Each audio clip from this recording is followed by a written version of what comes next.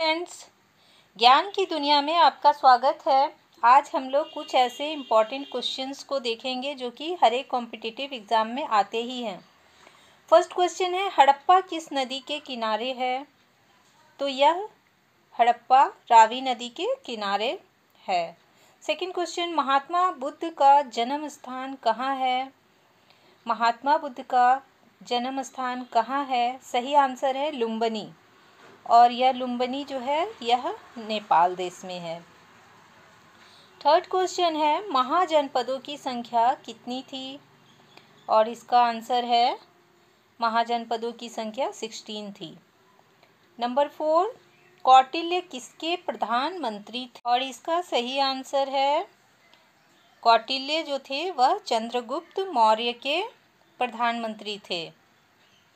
Next question जो है हमारा वह है कि चोल वंश की राजधानी कहाँ थी? तो चोल वंश की राजधानी इसका आंसर है तंजौर। चोल वंश की राजधानी तंजौर थी।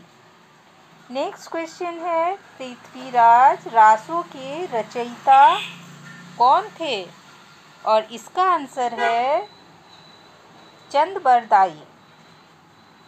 ये पृथ्वीराज रासो के रचयिता चंदबर दाई थे। नेक्स्ट क्वेश्चन है ब्लैक होल की घटना कब घटी थी? और इसका आंसर है 20 जून सत्रह सौ छप्पन को ब्लैक होल की घटना घटी थी। ये सब क्वेश्चंस के आंसर्स आपको याद रखने हैं करीब करीब सभी एग्ज़ाम्स में आ ही जाते हैं। बहुत इंपॉर्टेंट है। विक्रम संवत कब प्रारंभ हुआ था?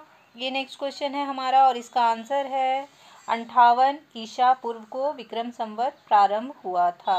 वीडियो अच्छी लगी हो तो प्लीज़ कमेंट शेयर और लाइक ज़रूर कीजिएगा और अगर आप चैनल पे नए हैं तो सब्सक्राइब करके बेल आइकन के बटन को प्रेस कीजिएगा। ऐसे ही इम्पोर्टेंट वीडियो को देखने के लिए और क्वेश्चंस के आंसर्स को पाने के लिए। तो मिलते हैं नेक्स्ट वीडियो में। तब तक के लिए बाय।